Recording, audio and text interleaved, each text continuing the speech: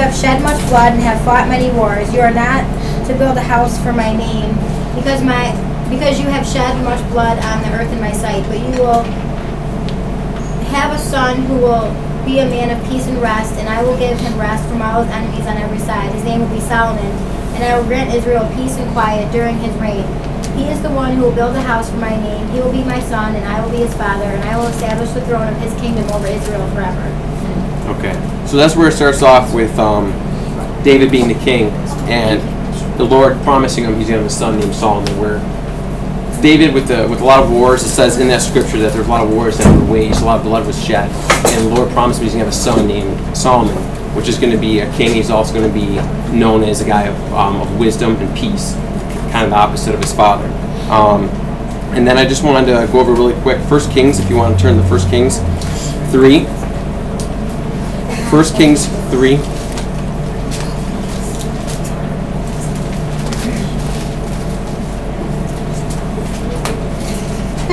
And it's 7 through 13. Anyone want to read that? Nah, I'll read it. Amanda? 7 to 13. Uh, 7 through 13, yes. Now, O Lord my God, you have made your servant king as to my father David. But I am only a little child and do not know how to carry out my duties. Your servant is here among the people you have chosen, a great people, too, nu- too numerous to count or number. So give your servant a discerning heart to govern your people and to distinguish between right and wrong. For who is able to govern this great people? Stop there. I just want to make a point. um, we'll continue because I figured you guys would get lost if I try to go back. But um, right away, he's just all Solomon's saying is he's trying to. Um, he's only asking for discernment. That's all he's asking, and he's just asking God. You know, all I want to do is discern between good and evil. That's all I'm asking for. Um, so that's all he's asking of God. Okay, continue. The Lord was pleased that Solomon should ask for this. So God said to him, Since you have asked for this, and not for long life or wealth for yourself, nor have asked for death of your enemies, but for discernment in administering, administering justice, I will do what you have asked. I will give you a wise and discerning heart, so that there will never be, never have been you, nor will there ever be. Moreover, I will give you what you have not asked for, both riches and honor, so that in your lifetime you will have no equal among kings. Good. Um, I wanted to read there because it's such a great illustration as far as like Solomon just coming to God humble, saying, "Listen, all I ask for is discernment between good and evil," and God saying, "You know, just be, you only asked for that, and because you've only asked for that, I'm going to bless you with more. I'm going to give you the riches. I'm going to give you the land. I'm going to give you everything. I'm going to make you king." And this is where God starts to take off and just bless um, Solomon. Um, and I wanted to, go over a few different things. I'm going to give you a little bit more background of Solomon. Um, it says the biblical king Solomon was known for his wisdom, his wealth, and his writings. Solomon was the son of King David. Solomon was not the oldest son of David, but David promised uh, Bathsheba that Solomon would be the next king. When David's elder son, Adonijah, declared himself king, David ordered his servants to bring Solomon to Gihon spring, where the priest anointed him while David was still alive. So Solomon, his dad's passing away, but he wanted to make sure before um, he passed away that he anointed his son Solomon everything. Um, it says, and Solomon inherited a considerable empire from his father. Although, although he was a ruler at a young age, the son uh, he soon became known for his wisdom. Okay, now from studying all this, I had no idea that Solomon was actually the story in the Bible. You guys hear about the story about the, the women that fought over the baby? Two women? Okay, for some of you don't, I'm going to go over it really quick because it's talking about how he was known as the, the wisest man. And this is a story that I think illustrates his, his wisdom in it. Um, it says, It was a heartbreaking scene. Two women stood before the King Solomon, each claiming to the each claiming that they were the mother of the same boy.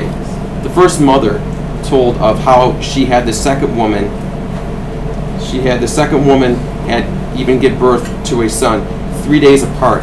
Her son was born first. The second mother accidentally laid on her son while sleeping. The baby died. Discovering that her son was dead, the second mother switched the babies, placing her dead son beside the first mother while sleeping, then taking the first mother's living son to bed. So she swapped babies, one's dead, one's alive. Um, it says, When the first mother arose in the morning to nurse her son, she found out the boy was dead. But on a closer examination, she discovered it wasn't. It was uh, the other mother's child. She knew her son was in the arms of his second mother. Now, standing anxiously before the king, because they went before the king to debate about this, she hoped that he would somehow perceive she was the one telling the truth, so he could be reunited with the baby. Solomon issued the verdict Bring me the sword, divide the living child in half. He wanted to take the baby and said, since you guys can't agree who's the baby, he's going to cut the baby directly in half. Um, and gave him half and the other one half.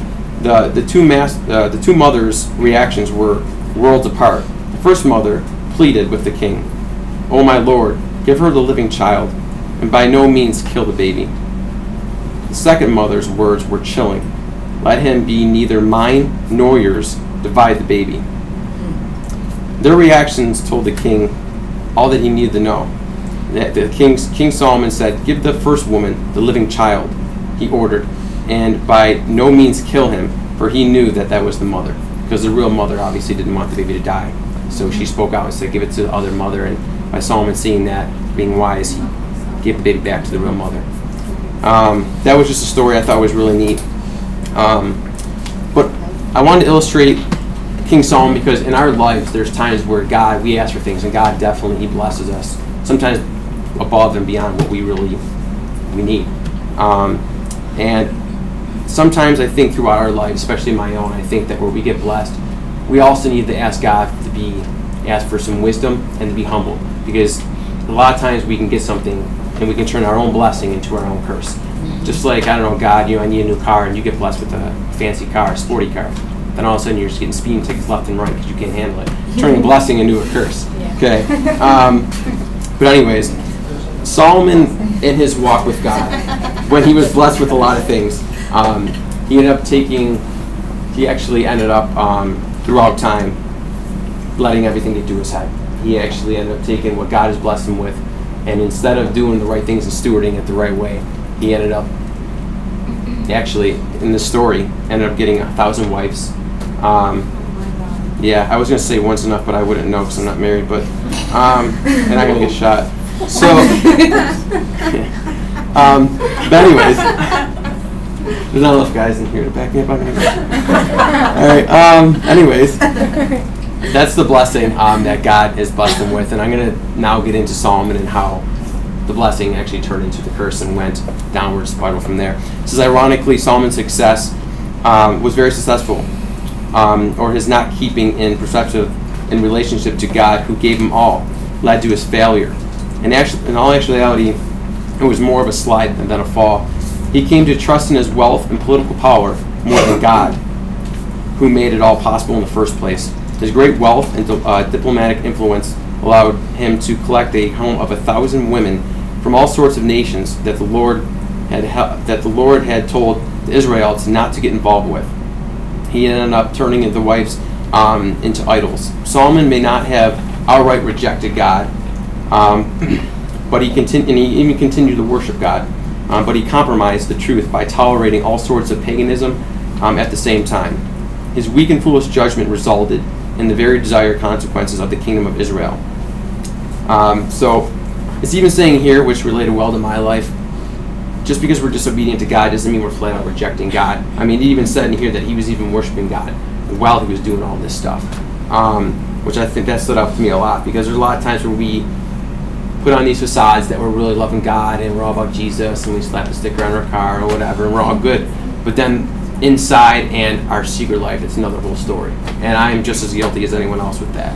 Um, Another thing I wanted to illustrate as far as Solomon's story, um, I don't know if anyone wants to be brave enough to even speak about this, but we'll start with the blessing. Does anyone know in here that God was directly telling them something to do, and they're obedient to it, and God actually blessed them for it? Does anyone have any illustrations? It could be recent, it could have been 10 years ago. Anything? I'll start off with one, and you guys can think, but um, I would say in my own life, um, getting back in school. Um, was something that I feel like I was passing all the tests that God was throwing at me, but there was one that God always kept saying, go back to, go back to. And I just kept ignoring it. And I felt like in my life I've been in such a dry season um, where I was doing what I was doing to get by, but I really wasn't moving forward. And sometimes, like Joel said, he even said before this, he started the Bible study in church, that God said to him, you know, go back to the last thing that I asked you to do. Because sometimes we keep trying to move forward ourselves, and God's going, you know, that's nice and all, but why don't you go back to the last thing I told you to be obedient to? And once you do that, it's kind of like you're opening a door, and he, then He can start to bless you. And um, I think with schooling in my life, I finally um, started that. And He put everything in order. He put the right people in my life to help me get by. Um, he put the right teacher in my way. Um, I started getting better grades than I did in high school, and it just opened up a another whole door, uh, another whole thing for my life. So that's one for me um, as far as a blessing um, out of obedience. Does anyone does anyone think of anything else?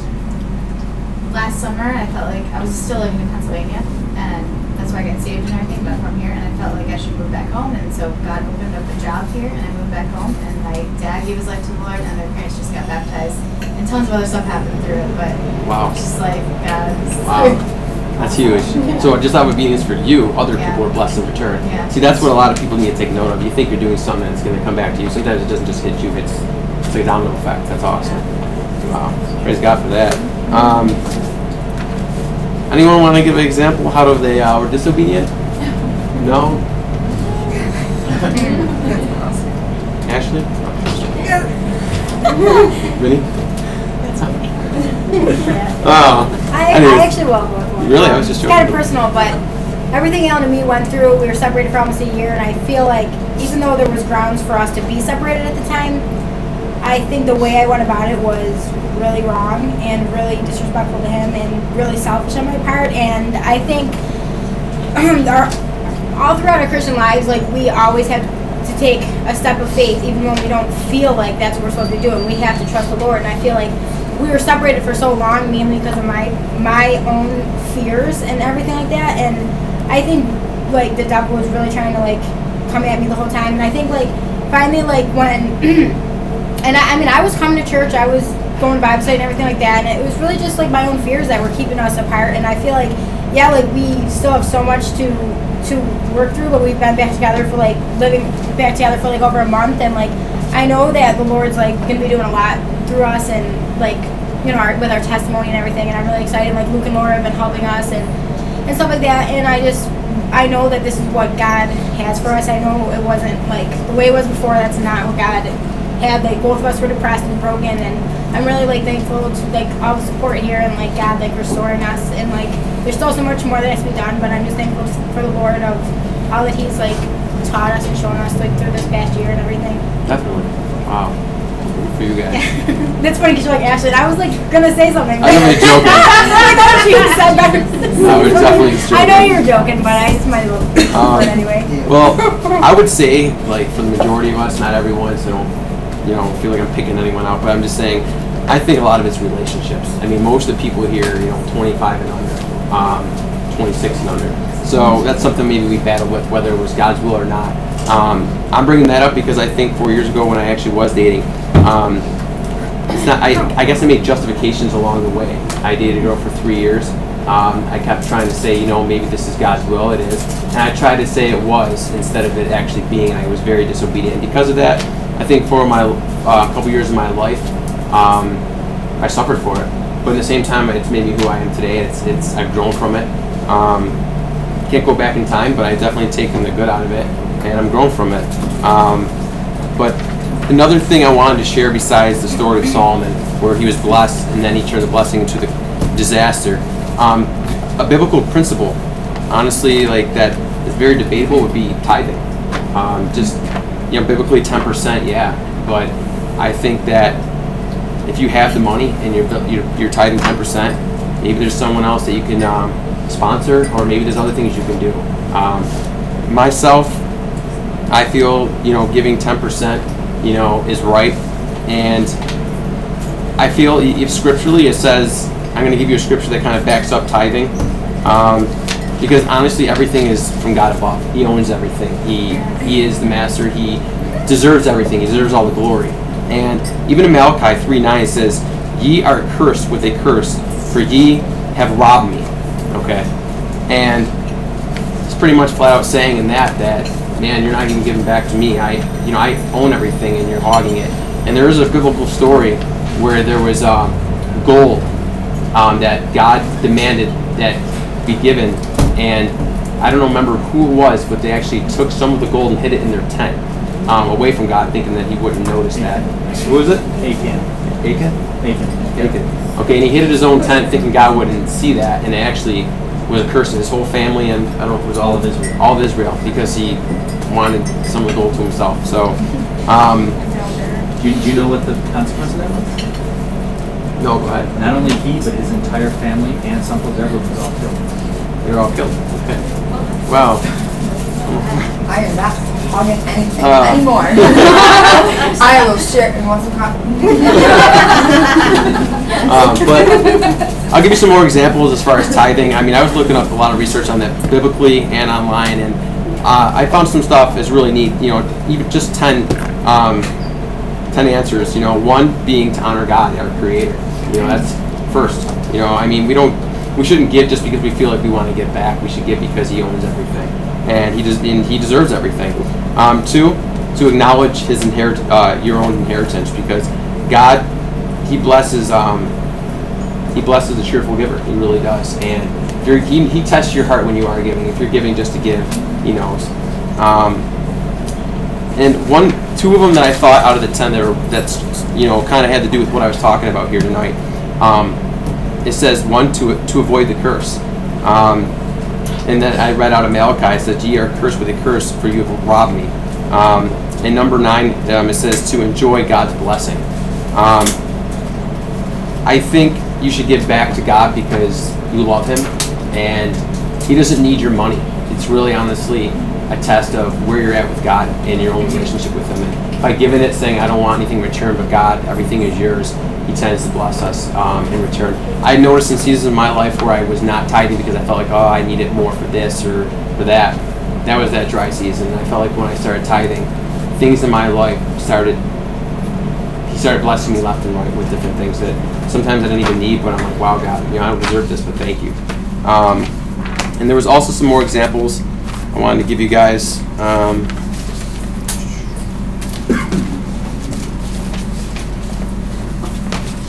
bear with me a second. Can I say something? Go ahead.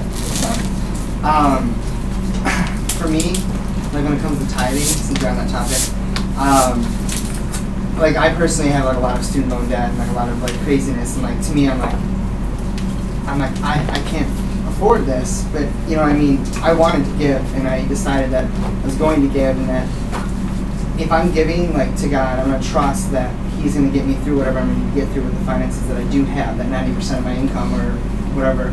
Um, so, in which when I started doing that, as soon as like I was like, how am I gonna be able to get gas or how am I gonna be able to do this? Like things just kept falling into place. Like randomly out of nowhere, I was tutoring my one friend, and like out of nowhere, like as soon as like I started tithing more and like trying to take care, you know, making sure. I mean, I didn't do it because I felt like I needed to. I did it because I wanted to.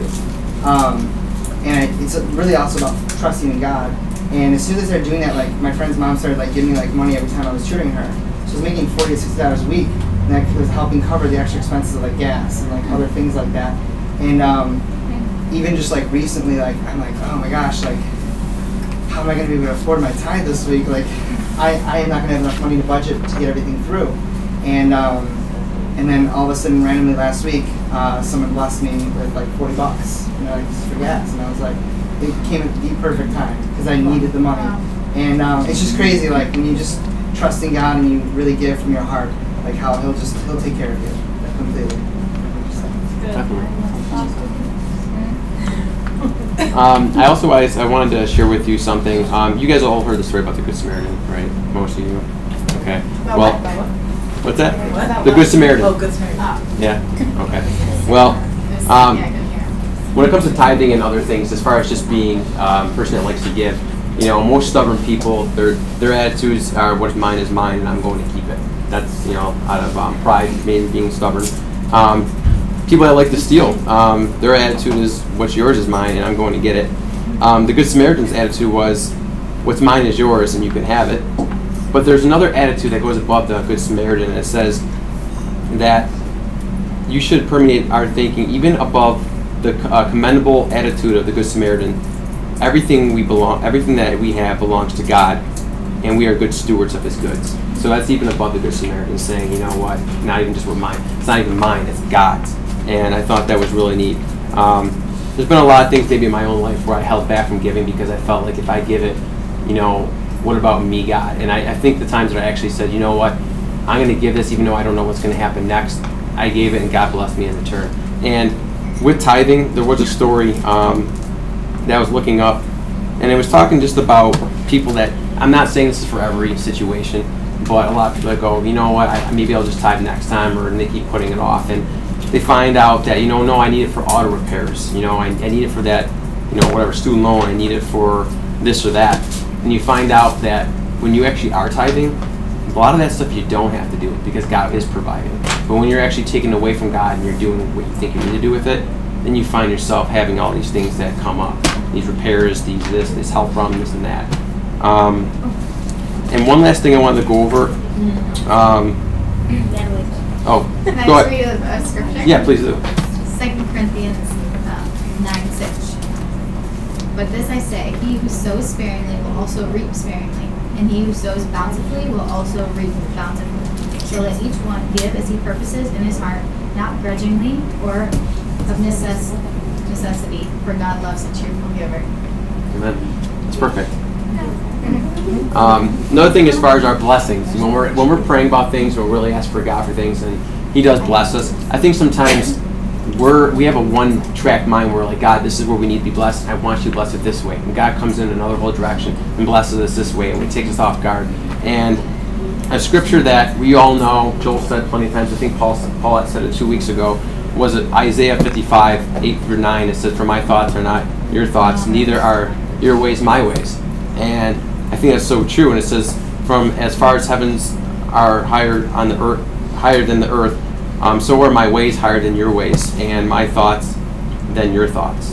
And I think that's perfect because sometimes we're looking for something to come through, and God comes through another way. I can say in my life, I think I have patience, but I think that's the one thing that God keeps trying to help me out with more. And I'm scratching my head going, you know, why? You know, I feel like I'm good with patience. Why are you help me with that? And sometimes God will bring me someone in my life that could drive me crazy, test my patience, but I, I realize honestly that's a blessing. It really is, and it's coming from this way instead of thinking, no, I, you know, I need to be blessed this way. God comes in from another way because it actually helps me out, helps me adjust my attitude, it helps my thinking, and um, another scripture I want to go over, and I felt like it was crucial for all this as far as um, being blessed is patience.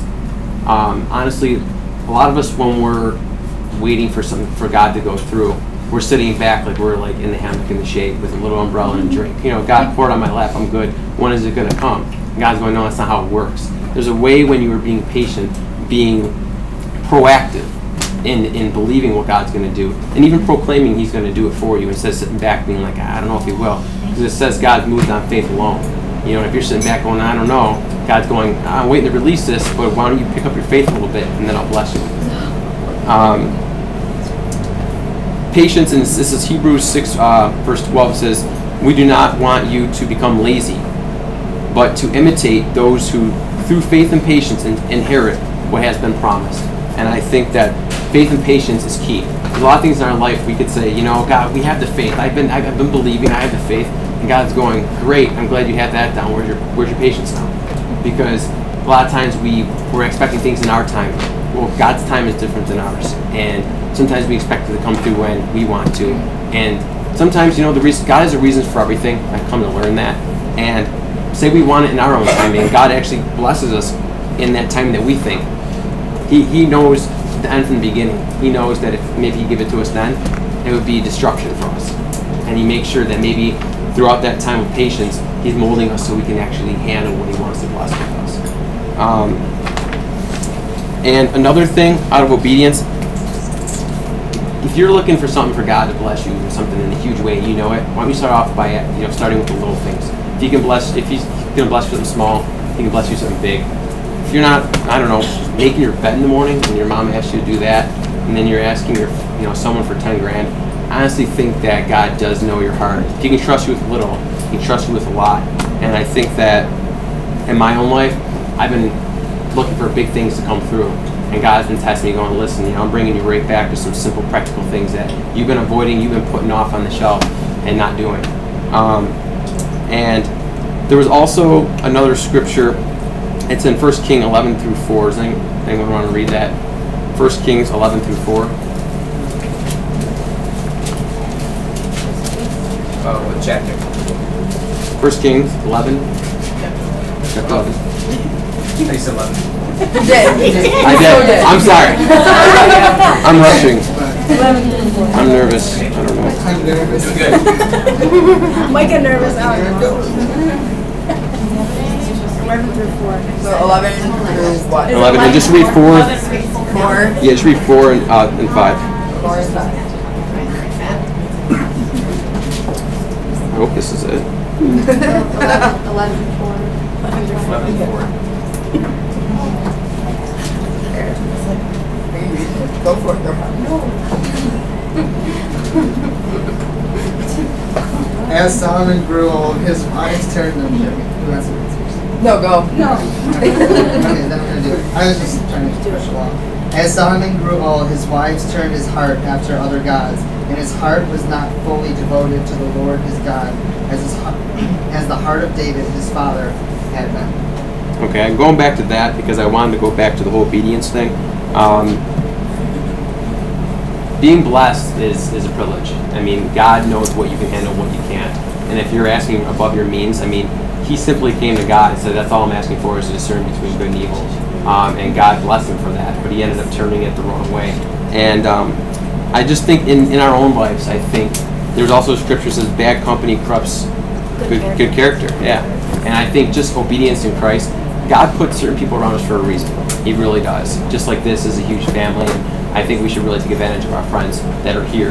Um, but I honestly think that when you're around people that aren't saved or maybe people that don't know much about Christ, it's not like a let's kick them out of our lives. No, the reason for our walk is to reach out to the lost. But I think that you need to be wise in who you do hang out with and in what you do with them. And I think that that's obedience in itself. Um, God can say, you know what I mean, like that crowd, you're not ready for that to re- even reach out to them. I know you're a Christian, but I don't think you're ready to really reach out to them like you say you're going to. Because you go hang out with them, what do you do? You act just like them, and you start falling into their patterns. Next thing you know, you're you're just as bad. And I, I'm not saying that goes for everyone. I think it's between you and God. But I honestly think that when you feel like you're solid enough, it, you shouldn't ignore the people that aren't saved. Our job is to reach out to them, and being obedient is, you know, spreading the gospel any way we can to the saved and unsaved. Um, if we get into our, our little bubble, um, say, you know, we, we say we're worshiping God and we're being obedient, yet if you notice our circle of, fri- circle of friends is only Christians, I honestly think, and this is probably strong of me to say it, there's a problem with that. Because if you're only reaching out to your Christian friends and you're in your little bubble, who's reaching out to the world? No one. And um, even in our own careers, you know, there's a lot of people here that are in careers that aren't missionary careers. You're in the hospital, you know, you're on the job, anywhere, and you're you're you're seeing people every day that don't know Christ. It's your mission field. That's right. It's mission field. But I just think it's it's really needed to be obedient to Christ in every which way. Where it doesn't matter where you're at. It could be your friends. It could be making your bed. It could be, I don't know, not having a thousand wives. Um, but uh, mom, there's also something you wanted to share too. Yes, I can read it because I don't have my glasses and it's small. Okay. What is it, Acts chapter five? Um, go ahead. Oh, that's Ananias and Sapphira. Can you hear it? What? Oh, what? Ananias and Sapphira. But there was a certain man named Ananias who, with his wife Sapphira, sold some property. He brought part of the money to the apostles, claiming it was a full amount. With his wife's consent, he kept the rest. Then Peter said, Ananias, why have you let Satan fill your heart? You lied to the Holy Spirit and you kept some of the money for yourself. The property was yours to sell or not sell as you wished. And after selling it, the money was also yours to give away. How could you do a thing like this? You weren't lying to us, but to God. And I think right there, um, I know the Lord was showing me that, um, that's a New Testament example. And that actually was the beginning of the church. And it established fear upon the church to where they understood and began to see the holiness and the righteousness of God. That he wasn't gonna tolerate that kind of thing. And here he's saying, you know, it was yours to begin with. You said you were gonna sell it and you were gonna do what everyone else was doing to pitch in and to help out. And here you went and you held back part of it and then lied, and his wife was in, in conspiracy with him in that lie. And because of it, it cost both of them their lives. And he said, the important thing was, he said, you did not lie to man, you lied to the Holy Spirit. And that's really important to realize that we think we're just accountable down here on earth to people. It's more than that. You know, when you claim to know Christ, you are accountable to Him. And although He loves us, He also does have rules and, and, um, and laws set in motion through His Word. And to disobey, that is what happened with Ananias and Sapphira. So that was one of the examples. Yeah, Um, I think a lot of the time for for many Christians, I think we get caught up in not not so much am I obeying or disobeying God, but is this really what God wants me to do, or is this what I want to do? You know, and you were fighting back and forth with our in our minds, like you know, is this God or is it not God? Is it me? You know, is it just the people around me telling me to do this? Are they speaking from God, or are they just telling me what they think? And you know, we get very confused and we start over analyzing everything. But I think, you know, when it comes down to should I do this or should I not do this, you have to think of, you know, in the in the eternal mindset, you know, what kind of impact is this going to make eternally, you know, for the Lord? I think we get very caught up in immediate gratification, what feels good right now, what is going to help me right now, even if it's going to cause damage later. You know, oh, we'll deal with it later, you know, when it messes up, but right now, this is what I need right now.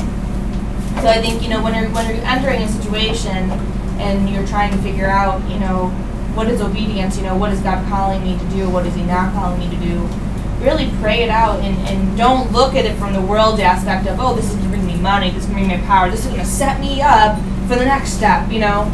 Really look at it from with an eternal mindset. Um, one example that I have of obedience is when it was 10 years ago and I was looking for a career change from motel management. And I had two jobs staring me in the face. Um, I could be a youth director for United Methodist Church, or I can do this um, like administrative sales job that would have definitely paid me at least double what I would make doing the youth director job. And I had all these red flags about the one, and I felt total peace about going with the youth director mm-hmm. job. And I'm like, but we really need the money. But you know, I ended up going with the youth youth director job, and it was like the greatest year and a half that I was there. Year and a half of my life, like just watching kids go from totally like lukewarm Christians to like on fire, excited for God, like changing their schools, everything. And I was I like look back at it now, and I'm like, thank God that's what I did. You know, like I made the right decision with that. And I mean, just seeing where and seeing you know keeping contact with them today on Facebook and stuff, like still seeing them on fire for God and pursuing the Lord, like that's all the blessing I need from it. That's all the great things I need. Ellen, Ellen, she's from there, so that's just you know think eternally, don't think immediate gratification.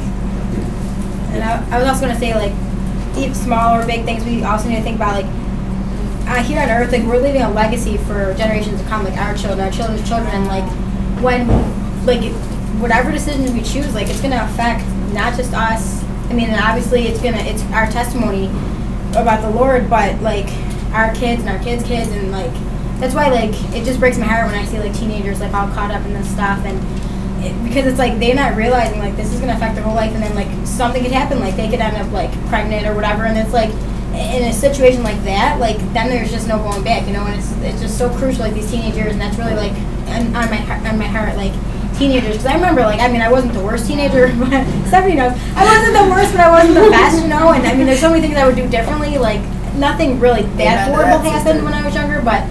I just that's really just like I'm heart really happy for teenagers and like that's why I'm so so excited about this ministry because we're so reaching out to our generation and I just it's really exciting. Awesome. Cool. Anyone have anything else? Uh, Amanda? Um, this is just, it's applicable in regards to tithing and just obedience in general.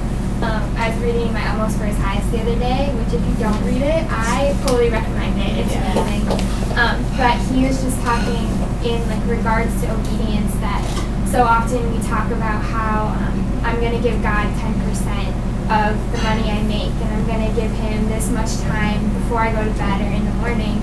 And by saying those things, while they are they are godly, we almost assume that like we have a right to the things we have. So the paycheck I get, I have a right to the other ninety percent, and then ten percent is God's.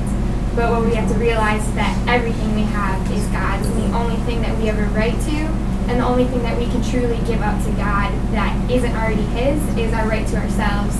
Um, so, which goes along with obedience too. The only thing that we have to give that is ours is being obedient, and in regards to our entire life, not just with monetary things, but in every aspect and every step we take is obedience to Him. And that's all we have to give. Amen. I can run something. So, my heart's pounding, so I'm just gonna have to share. Um, so like, I love her. Oh my goodness. okay, along with obedience, like, obviously, like, our life is not our own. Like, Christ died for us, and in the Bible, so many times, it's just like me. It always says, like, take up your cross, follow God. Like, we should be giving our all, sacrificing ourselves to Christ in every single way. So, if you think about it and you take obedience and you just break it down with along that, if you're a living sacrifice for, for Jesus, like He's calling you to be, then every single decision that you make, it should be with consulting Jesus. Because like it can even be like like asking God to like if you should like go to like a certain party or if you should go to like just hanging out with friends or anything. Like every single decision that you make should be with like thinking about like what what does God want you to do in the long run? Because also obedience, not only blesses blesses yourself, but along with you said with how you came back home and your whole family got blessed. Like your obedience is not just a blessing for yourself, but it's also meant to be a blessing for others. So it's like if you're praying, if you should like go to mall someday, and or like, or I don't know, and like you feel like that you shouldn't go. Like if you listen to God's voice in that, He could be protecting you from something like horrible that happens at the mall. Or like if you pray and you feel like you should go to the mall, God could be setting up a divine like appointment with somebody else to preach the gospel, to share His word, or to just bless somebody else. So obedience, when it comes down to it, like like we should just like if you just I don't know like I wouldn't okay, I won't but um I don't know just like keep in mind like we should be preaching the gospel no matter where we are. We're supposed to just be living and just walking sacrifices for Jesus and blessing everybody who crosses our path. So not only is it for ourselves but it's for the world around us. So yeah. And walking in step with the Spirit. yeah Just have the spirit lead and guide you every single day. I think, I think the thing to understand about obedience, I think that's the most important thing, is that it's a heart attitude. Because you can read the Word of God and you can read it cover to cover, and you can set up a bunch of rigid laws and rules that you try to attain, and you'll never be able to do it if there's not the spirit of the law attached to that, and the spirit of grace. And I think sometimes we need to understand, yes, the Bible talks about tithing, yes, the Bible talks about obedience, but let me tell you, I'm, I'm a father, so if my kids, if they go and they clean the room or they clean the house, because my one son, he's done that several times. My middle child, the one who sometimes I just want to like lock him up. Okay, I'm, I am not kidding you. We've had discussions. Um, he's he's his own man already. and He's five, so he Oh, thinks. Lord. I know Um, it. I know but it. when he, when the times that I've come home from work, and he's taken it upon himself to go do something. Why? Not because Daddy told him he had to, but because he knew that it blessed Daddy's heart. Those were the times that just I just turned into melted butter and was like, "What do you want?" And you think about it in your lives. I mean, God tells you in His Word, and I have the Bible on my phone. But if I had a Bible in my hand, I would tell you. You open up the Word, and the Bible says, you know, you should be tithing. Would it be better for you to not have to follow the word of God to do it, but you just naturally, instinctively out of your heart are like, oh my gosh, God, everything's yours. I just, I'm bubbling over with Thanksgiving. Just take it, take it. And it's not even 10%. It's 15%. I don't care. It's 20% and I don't care. And Lord, you're going to provide. You're going to take care of me. And you're excited. Think about what that does. You know what I'm saying? As opposed to God saying, you really need to do that. Because when I go to my kids and I'm like, you need to clean your room. And they're like, what? Go clean your room and then five minutes later they're still playing around, go clean your room. Then it's like, then there's a certain side of me that comes out that they don't like to see. Because it's kind of like, I pick them up and I'm like, now go there now. Would you rather have God be that guy? Or do you want God to be like, oh my gosh, oh my gosh, Jesus, you got to see these people over here, man. They're just, they're awesome. They bless my heart. Why? Because they're just doing everything because they love me and they just want me and they just want to bless me. And that's what I'm saying. If, if our heart attitude is right, then the things that God has, it's not a matter of you do it because you want God to bless you. God blesses you because your heart wants Him. It's a totally different mindset. And if we don't have the mindset of what God wants, that's see that's the biggest challenge as Christians. When the Bible talks about transforming your mind, it's not a good thing to say. It is absolutely has to happen. Because the ways that we think in the world are the complete opposite of the way God wants us to think. And so you'll find people coming to church and you'll find people saying, You have to give, you have to give, you better obey God. I would rather be around people who are just obeying God, and I'm like, oh my gosh, I want to be like that. And it's catchy and it's exciting, not because they tell me I have to, but because they're so blessed. They're so awesome. There's so many awesome things happening in their life. I'm like, um, do I want to live like the grouch over there or the person with a smile on the face over here? I want the smile, right? That's what the world needs to see too. They don't want people beating them down about Jesus. They want to see people living in victory because they understand it, they've experienced it, they know it. You won't have to do any preaching. Your life will do the talking, the Holy Spirit through you will do the convicting. Boom, they're there. But it's, So- it's really a, a hard attitude. it's really a hard attitude. 'cause, You know, like our kids can do something that we asked, and they do it with a frown on their face, and you know, an attitude in their step. You know, and a lot of us, I think, we fall into the works thing, and oh, I'm gonna just do, I'm gonna do this for God, I'm gonna do that for God. But God s- sees our heart attitude uh-huh. when we're doing it. Mm-hmm. And so he sees us when we're doing it because we feel like we have to, or because we know it's the godly thing to do, or the Christianese thing to do. Like he wants to see our hearts as, I just love God. I'm doing this purely because I love God. Not because I'm expecting God to give me something in return, or anything like that, or because it's going to make me feel all warm and fuzzy inside because these people are happy. he wants us to do something just because we love Him. Andy. Andy? No, I was just gonna say like, sorry. Um, like Matthew talks about that treasure. Like in his joy, he still let everyone go after the treasure, and that's the way we have to look at Jesus. Like he is the treasure. He's everything, and that's that's that's what was was spoken into me early on in my walk was you treasure Jesus, treasure him, and that's I think that's what totally changed my whole walk with God because it's not like oh, I'm just walking with Jesus, no, I'm treasuring him. Nothing else even compares to him. Nothing. Nothing else looks more beautiful than him. Nothing else looks more more desirable than Jesus.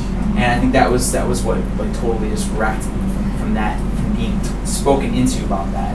And that's that's I don't know. I just want to add that because I think that's cool. Because it's just continually that treasuring that scripture itself always is spoken. to me. Like he sold in his joy. Everyone's like, "What- that field over there. What, what, what about that? You know? He's like, no, I'm I'm trading all that for, for mm-hmm. this and the, you know this treasure. So I don't know. I think that's just a good way So cool. to look at it. Well, I I just reminded of that story in the Bible where um, I think it was Paul and them rolled up and that that lady with her son, she had like a little bit of flour left and he's like said something like woman make me a cake or something like that.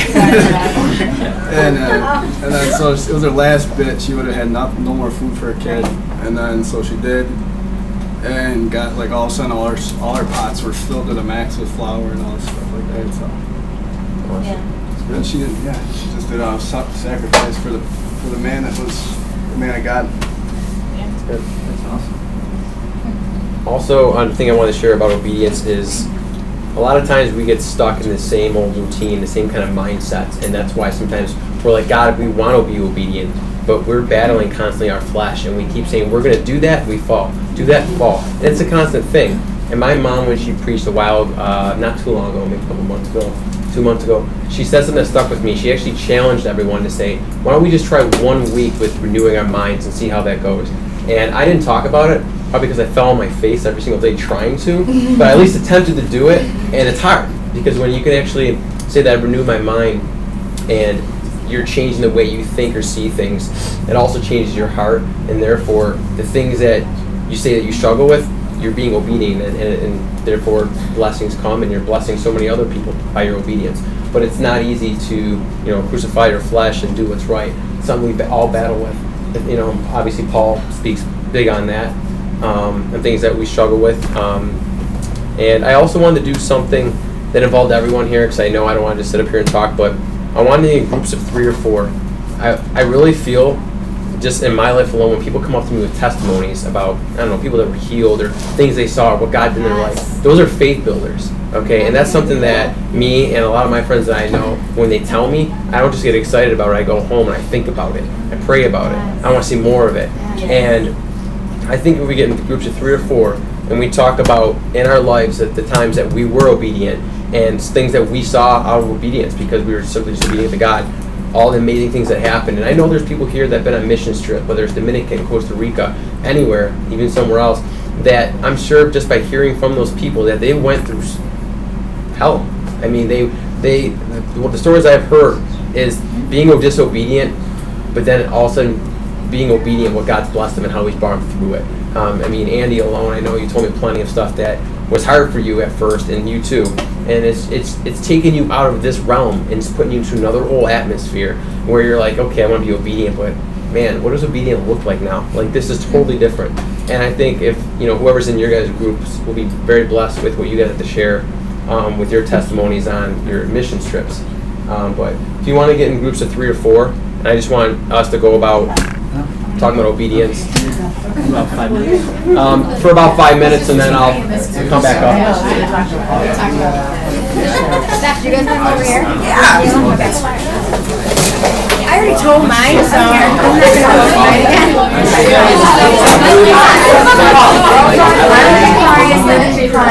Spot the sauce for his right.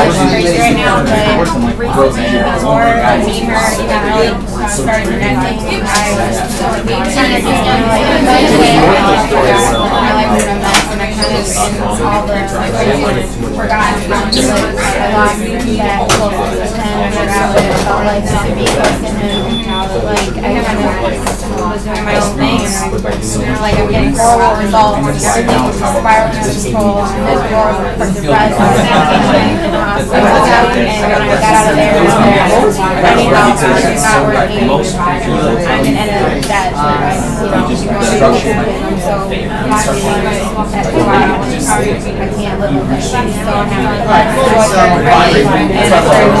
I like, I was wondering why you're the end for my life, I really started calling me and basically just like give, give back for like I'm like, yeah, yeah, and then just like turn my life around, show me that, show me what to do, show me what um, will was, what he wants in my life, show me, you know, I'll turn it around, basically just for him to save me, and then, you know, I didn't see anything at first, but I continued to pray, and then suddenly, me and her had this connection, and right when we were about to get really bad, then, you know, kind of, God just kind of brought us together, and now we're living at her house, and controlling us, and just like, I had this, like, happiness running my head, for so long, and like, all of a sudden, like, really want to into that, like, on fire for God. I that, and like,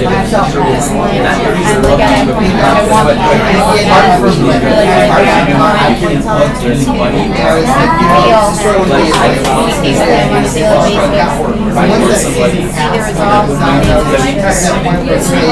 like, I want to touch it, I want to oh, I want my to be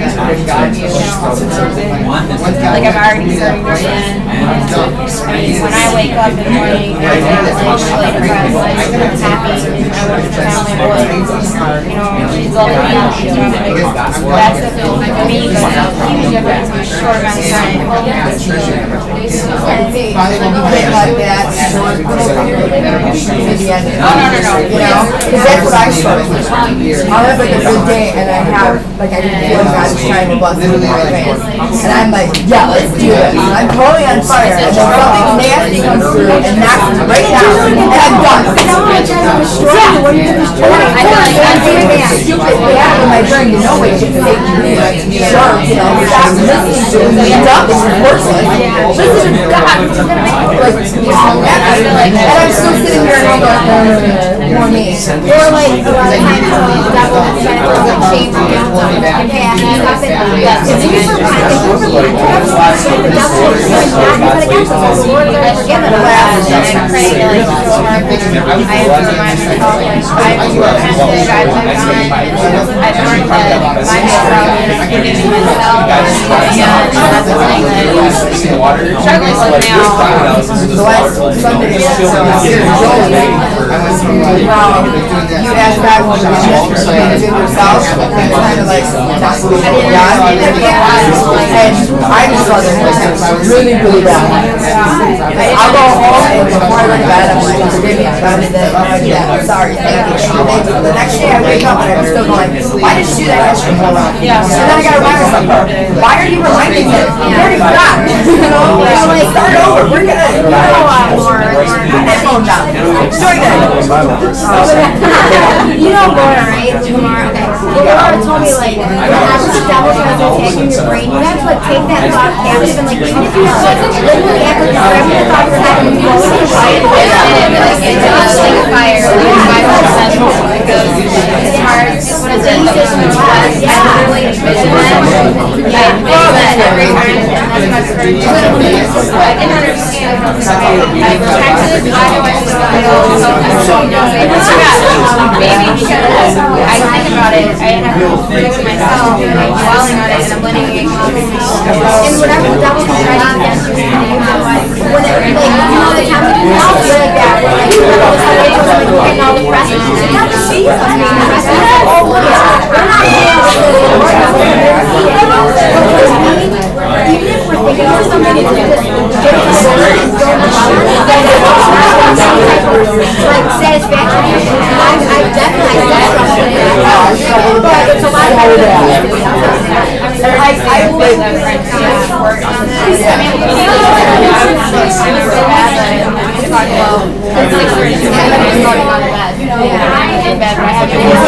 on anxiety thing. I had brain process, bad memories, guilt, humility, shame, everything. And I gave it to God, and I and that was like that like clicked and forgive yourself. Yeah, that's the part that's missing. Yeah. And I've been sleeping, and I've been like just like on this upward, like nothing's getting me down. I'm gonna get this, everything's done. I'm gonna do this. Like this upward is definitely helping with that. And whenever you like, Bible says without faith it's impossible to please God. So if you don't believe in God, you can't. So you can't.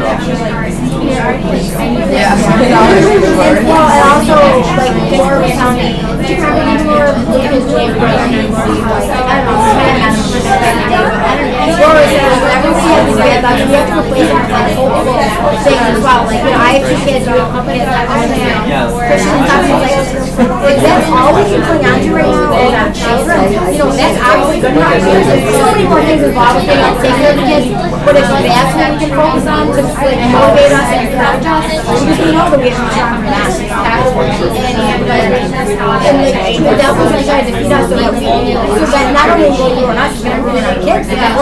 be be And that's like, I'm, I'm totally like, I. They, they like, you know, you're never gonna like you're mother like that. We feel guilty, and we shouldn't feel like that, we know that, like, God is, we have everything in the Word, and the Word has show us everything that we know. Like, we learn as we go, like, it's not like you're given like a manual, like, this is how, I mean, I really should Well, the Bible, we have the Bible, like, in terms of like, you know, outside, yeah, like, I make mistakes, and stuff, but like, you know, our kids will be happy, like, that's the thing, and I feel like, that's my thing, like, as I get down to that, I'm trying to encourage myself, like, like, you know, my kids, it's like, I have no money, no nothing. I said, I have two children. But with my kids, like, that's, that's my one thing that you focus on. That's what. I love you too much. We see him at the house, and, um, and I, I asked Tiffany, the, girl, I was like, oh? She's oh, so cute, and she's like, Christian. I was like, that's not Christian. And she's like, and then she's like, she called me I was like, oh, to you. I I thought they she's like, oh, but then he's like,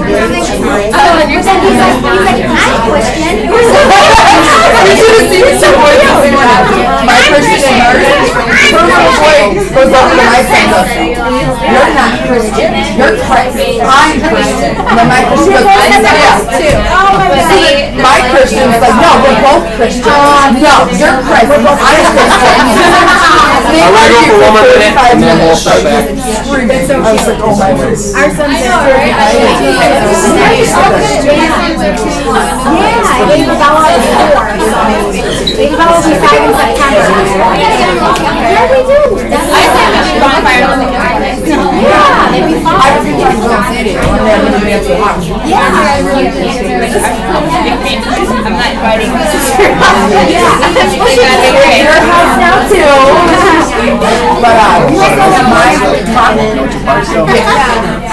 no, the trampoline was theirs, and the they said, "But years ago.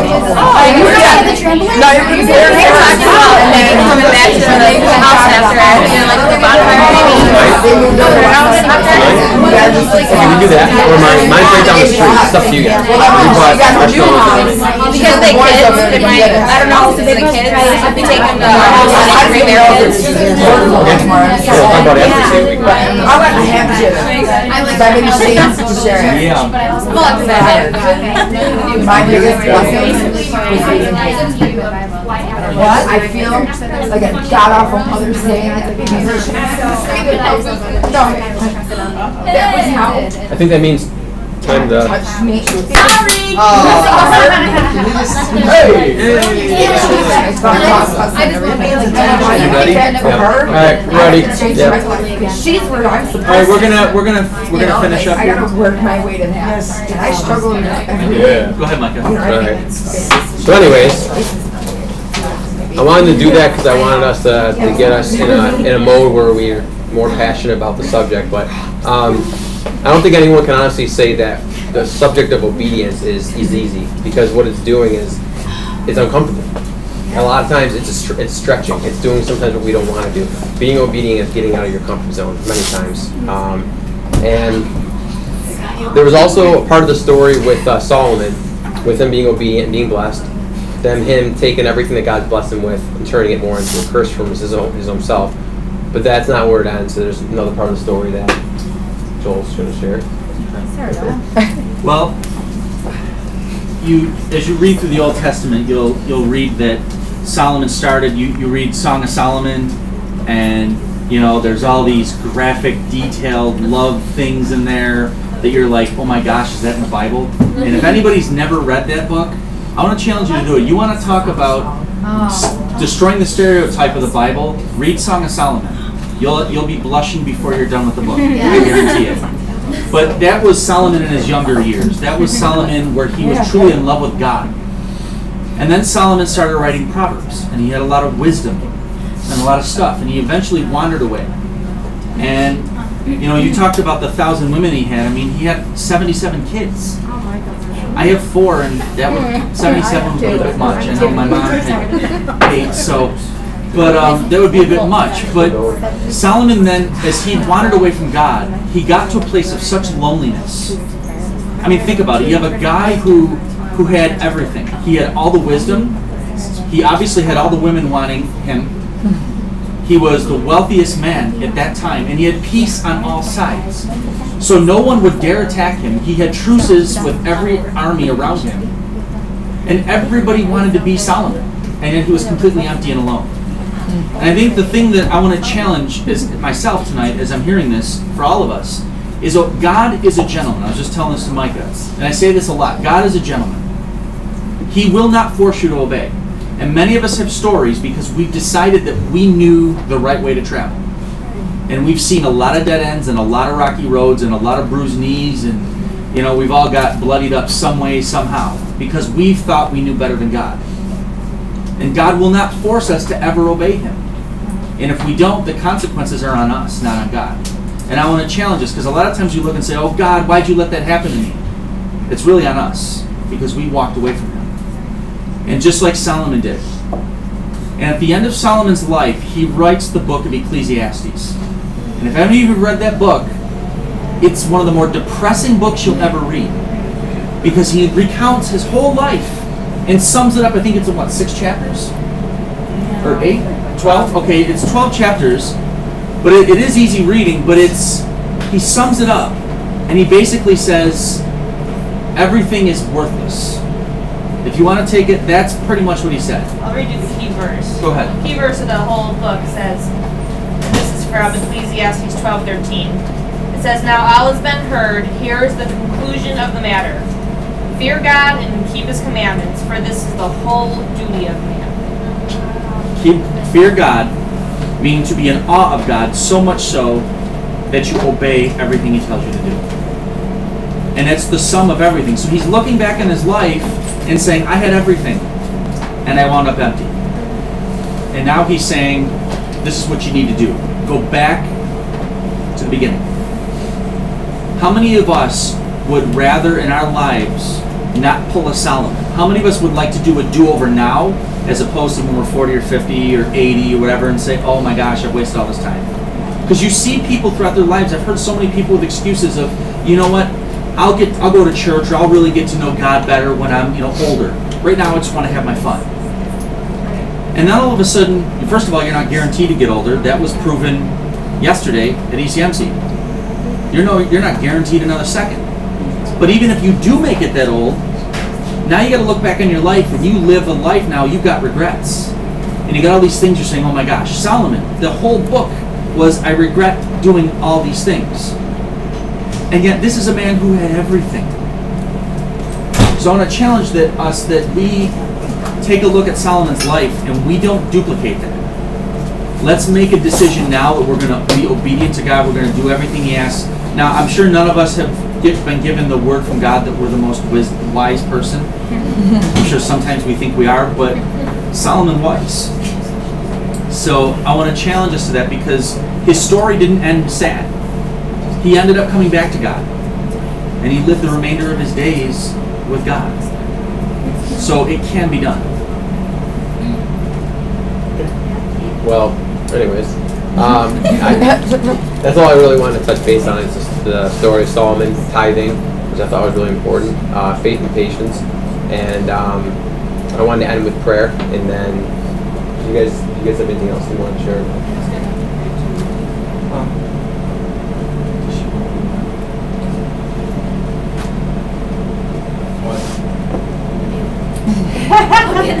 She's like, hmm. She's looking behind. Did you want us to pray with you? Huh? Did you want us to pray with you?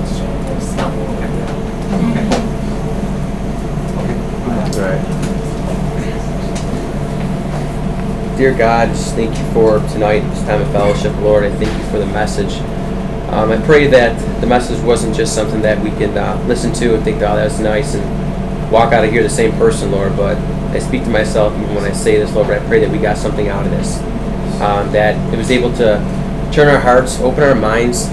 Lord, give us maybe a little bit more understanding of the cost of even being obedient, Lord. Just a simple concept of being obedient. But Lord, it, it does take a lot, Lord. But you didn't promise us a good life, but you promised you'd be there for us every step that we take. And I pray in the good times and the bad times, Lord, we rejoice, Lord. We rejoice no matter what. Whether we're going through good times or bad, Lord, we're called to rejoice and worship you, Lord. And I just pray that everyone here, um, that they open their hearts even through this next week and they'd be challenged, Lord, with, you know what, even these little things I may want to go back to. Um, because there's plenty of times where you tell us to do something, Lord, and out of disobedience, it doesn't just affect us. It affects the people that you want us to reach out to. It affects the people that are going to be blessed just out of our own obedience. I just pray that everyone here is blessed by the message, Lord, that you spoke to them clearly through me, even through me being nervous and this being my weakness of standing in front of people, Lord. I just know that um, you take our weaknesses and you turn them into our strengths, Lord. And uh, I just thank you for this night. And I just pray that we have safe travels on the way home, Lord. And I just thank you in your name. Amen. Amen. Amen.